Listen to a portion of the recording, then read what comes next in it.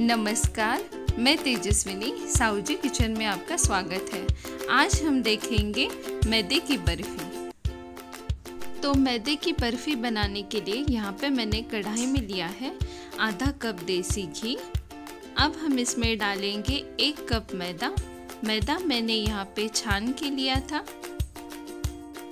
अब हम इस मैदे को घी में पकाएँगे। गैस की फ्लेम जो है, हमें धीमी ही रखनी है। और इसे लगातार चलाना है।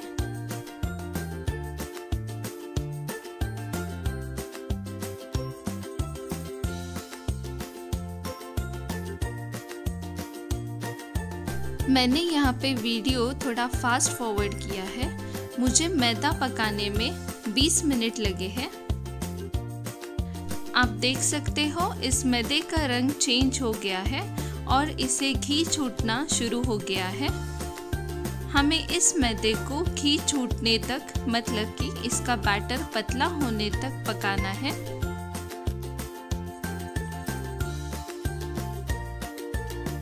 इसे पकाते समय हमें गैस की फ्लेम जो है, धीमी ही रखनी है, ताकि हमारे बर्फ़ी का रंग चेंज ना हो जाए। अगर आप गैस बड़ी आँच पर रखोगे तो हो सकता है आपका मैदा जल जाए और आपके बर्फ़ी का रंग चेंज हो जाए।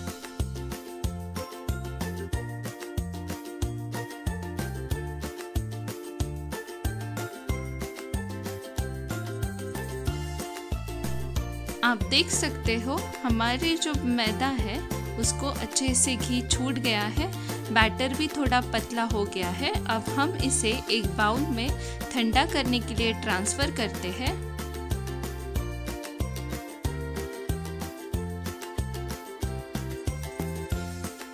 अब हम इसे साइड में रख देते हैं ताकि हमारा मिश्रण जो है ठंडा हो जाए। हमारा मिश्रण ठंडा हो रहा है, तब तक हम चीनी पीसेंगे। तो यहाँ पे मैंने आधी कप चीनी ली है। उसी के साथ मैंने यहाँ पे दो से तीन इलायची छिलके निकाले हैं। हम इसी को भी साथ में पीस लेंगे।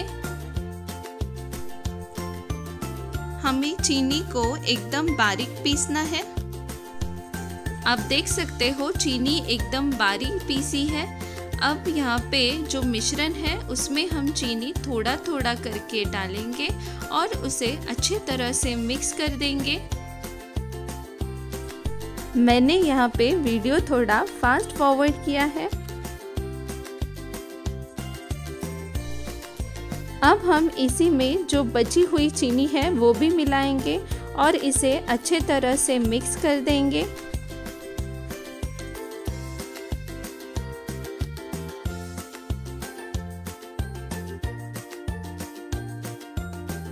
तो ये मिश्रण अच्छे तरह से मिक्स हो गया है। अब हम बर्फ़ी बनाने के लिए लेते हैं। तो बर्फ़ी सेट करने के लिए यहाँ पे मैंने एक फॉइल पेपर लिया है और उसे रेक्टेंगल शेप में बनाया है। अब हमारा जो मिश्रण है, हम इस फॉइल पेपर में ट्रांसफ़र करेंगे। मेरे पास स्क्वायर या रेक्टेंगल शेप का कोई बर्तन नहीं है, इसलिए मैंने यहाँ पे ये जुगाड़ किया है। आप डायरेक्टली एक थाली को ग्रेस करके ये मिश्रण सेट कर सकते हो। अब हमें इस मिश्रण को हाथों से दबा के अच्छे से सेट करना है।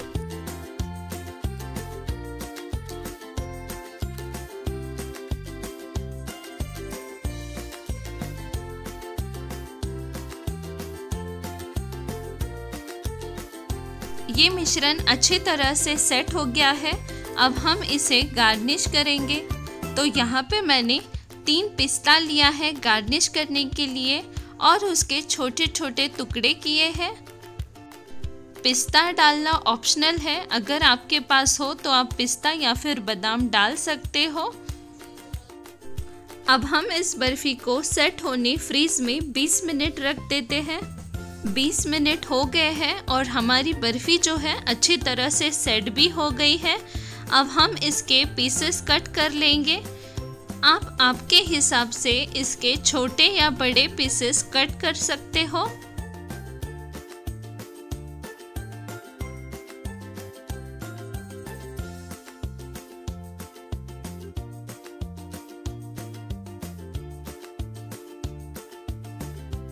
सारे पीसेस कट करके हो गए हैं। मैं आपको यहाँ पे एक बर्फ़ी निकाल के दिखाती हूँ। ये जो बर्फ़ी है, बहुत ही परफेक्ट बनी हुई है और एकदम टेस्टी बनी हुई है। तो आप इस रेसिपी को ज़रूर ट्राई कीजिएगा और कमेंट करके बताइएगा हमें आपको ये कैसी लगी। हमारे चैनल को लाइक शेयर सब्सक्राइब करना ना भूलें। धन्यवाद।